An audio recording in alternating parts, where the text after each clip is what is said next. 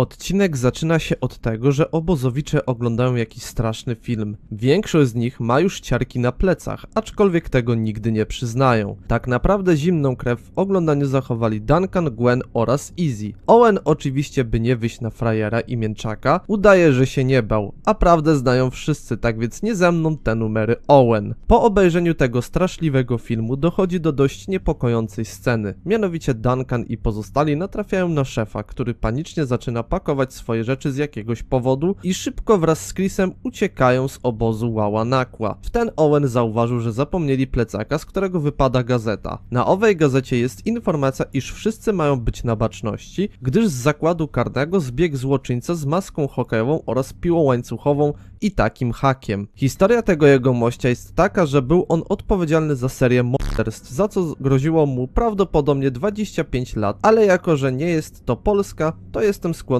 uwierzyć, że wyrok nie był zbyt wysoki, aczkolwiek nie jestem ekspertem w tym temacie, więc głosu nie będę zabierał. Tak czy siak, obozowicze znając swój los, postanowili wymyślić jakiś plan, który sprawiłby, że przetrwaliby całą noc z grasującym na wyspie mordercą. Owen i Izzy padli pierwszymi ofiarami zbiega z piłą łańcuchową. Muszę przyznać, że kiedy pierwszy raz zobaczyłem tę scenę, a miałem wtedy już 13 lat, to czułem swoisty niepokój oglądając to po raz pierwszy. Dziś mając prawie 26 lat, nadal uważam, że jest to dość niepokojąca scena. Bo z jednej strony zdajecie sobie sprawę, że pomimo brutalności Cartoon Network nie zezwoliłoby na tak drastyczny odcinek, gdzie jakaś postać zabija inne postacie. Z drugiej strony to totalna porażka, gdzie tutaj już mieliśmy okazję widzieć czyjeś zwłoki. Patrz na przykład zwłoki ryby przyszykowanej przez najlepszą kucharkę świata. Tak czy siak, scena kończy się w ten sposób, że on wystawia Easy i ten ucieka do namiotu, w którym jest cały i zdrowy. A mordercą, który ścigał naszą dwójkę był szef Hatchet, który tak naprawdę był przebrany za takowego mordercę, gdyż zadanie polegało na tym, że obozowicze mieli obejrzeć horror i go przeżyć. DJ na przykład nie przestraszył się szefa, natomiast przestraszyły go nieogolone nogi Heather. Tak, jest to dość straszny widok, muszę przyznać. Każdy po kolei jakoś odpadał, Jedyny, który tak naprawdę dał radę w konfrontacji z szefem był Duncan. Aczkolwiek plan szefa i Chrisa troszkę wymsknął się spod kontroli, gdyż kiedy Chris, szef i pozostali byli w namiocie bezpieczni, okazało się, że z Gwen była jedna tajemnicza osoba, która towarzyszyła jej na stołówce. Wszyscy momentalnie spanikowali i wybiegli z namiotu do stołówki, aby uratować potencjalną ofiarę mordercy. Gwen na początku wyczuwała, że to prowokacja i wdaje się w dialog ze zbiegiem, natomiast on nie odpowiada. W nagrodę, aby udowodnić, że jest on autentyczny, pokazuje Gwen brak ręki. Muszę przyznać, że tak jak za pierwszym razem, tak i teraz, ta scena jest dość niepokojąca. Kiedy wszyscy wlecieli na stołówkę i krzyknęli do Gwen, że to prawdziwy psychopata, ta rozpoczęła atak i bardzo szybko powaliła przeciwnika na łopatki, tym samym zdobywając nietykalność. W mojej opinii jest to odcinek, który po latach wciąż dostaje miano najbardziej niepokojącego odcinka z pierwszego sezonu totalnej porażki.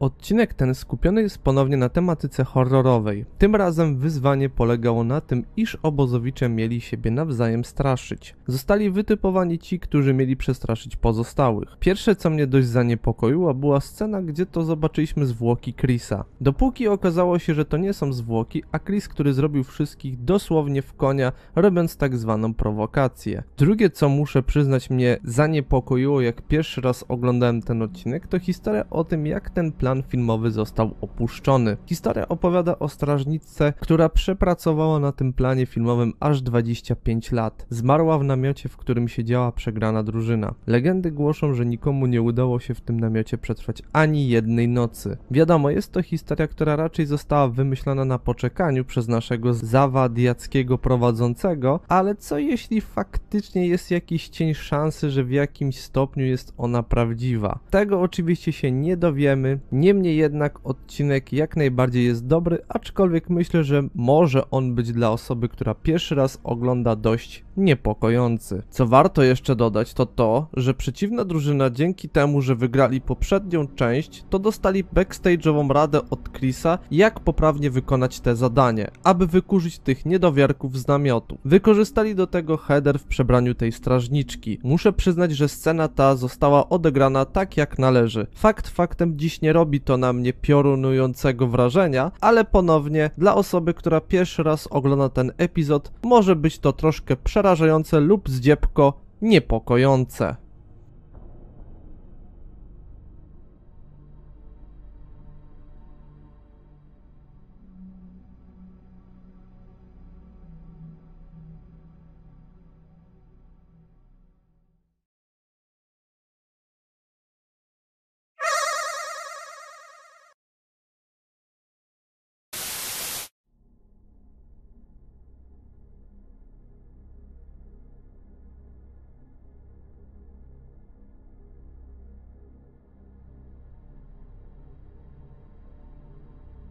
Zanim jednak zaczniemy od streszczenia odcinka, mam do Was bardzo ważne pytanie. Znacie historię Kuby Rozpruwacza? Wiecie kto to w ogóle jest? Otóż Kuba Rozpruwacz to seryjny morderca, który grasował właśnie w Londynie, dokładnie to w roku 1888. Po raz pierwszy określenie Kuba Rozpruwacz pojawiło się w listach napisanych przez osobę podającą się za niego. Ofiarami ataków przypisywanych Kubie Rozpruwaczowi zwykle padały prostytutki z ubogich dzielnic, mordowanie przez podcięcie gardła. Większość z nich odniosła ponadto poważne rany brzucha. Co najmniej trzem ofiarom usunięto niektóre narządy wewnętrzne, co stało się podstawą przypuszczeń, jakoby morderca posiadał wiedzę anatomiczną lub chirurgiczną. Teorie głoszące, że sprawcą wszystkich ataków i zabójstw był jeden człowiek, zdobyły popularność we wrześniu i październiku 1888 roku. Wtedy też Scotland Yard oraz prasa zaczęły otrzymywać listy od osoby podającej się za mordercę. Jeden z nich, nazwany od pierwszych swoich słów listem z piekieł, zawierał fragment ludzkiej nerki. Z powodu nagłośnienia sprawy przez media oraz niezwykłej brutalności morderstw zaczęło je powszechnie uważać za dzieło pojedynczego zabójcy, nazywanego Kubą Rozpruwaczem. Liczne artykuły oraz wzmianki prasowe sprawiły, że stał się on najbardziej popularnym seryjnym mordercą w kulturze masowej. Śledztwo dotyczące brutalnych zabójstw popełnionych w White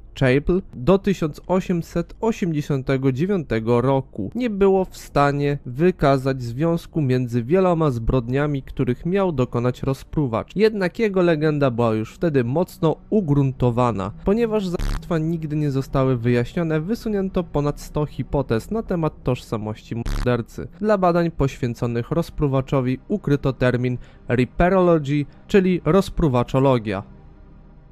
No dobra, ale jaki to ma związek z totalną porażką i odcinkiem numer 13? Otóż odcinek 13 jest poświęcony Londynowi oraz Kubie Rozpruwaczowi. Obozowicze muszą nie tyle co przed nim uciekać, co wymyślić jakby go tu schwytać, aby nie stanowił on żadnego zagrożenia. Zadanie nie należy do prostych, aczkolwiek Kubuś Rozpruwacz został złapany w najżałośniejszy sposób, jaki tylko mógł istnieć. Sam pomysł na odcinek jest jak najbardziej na plus. Uważam, że budzi troszkę niepokój, kiedy pomyśli się, że nasi bohaterowie będą musieli stoczyć walkę na śmierć i życie z potencjalnym mordercą. Natomiast co jeszcze pamiętam z tego odcinka, co przykuło moją uwagę, to scena, gdzie to dziewczyny znalazły maszynę do tortur. Courtney wtedy dała ciekawy komentarz, otóż z niego można wywnioskować, że Henryk VIII znęcał się na tej maszynie nad Anną Boleyn, a mianowicie torturował ją w tym pomieszczeniu tak długo, że kiedy już była ona na skraju sił, kazał swoim przydupasom ściąć jej głowę. Co prawda taka scena nie pojawia się w samym odcinku dzięki Bogu, ale jednak kiedy się o niej pomyśli, to ma się ciarki na plecach.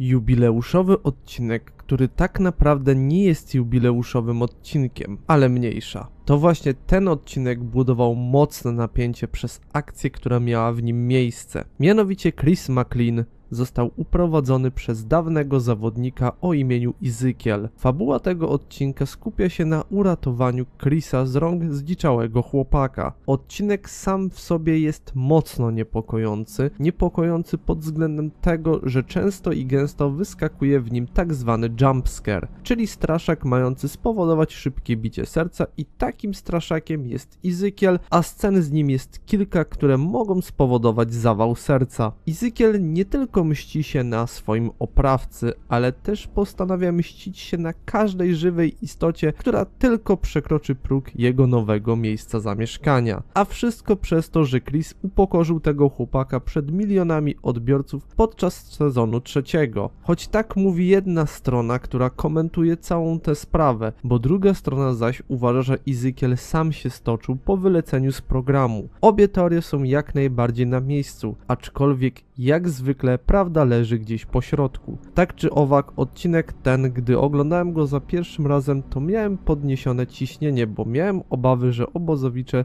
ze spotkania z Ezekielem nie wyjdą cało. Na szczęście wszystko dobrze się skończyło, aczkolwiek jednak sporo było momentów, gdzie to aż podskoczyłem ze strachu, kiedy wyskakiwał ten śmierdziel na ekranie.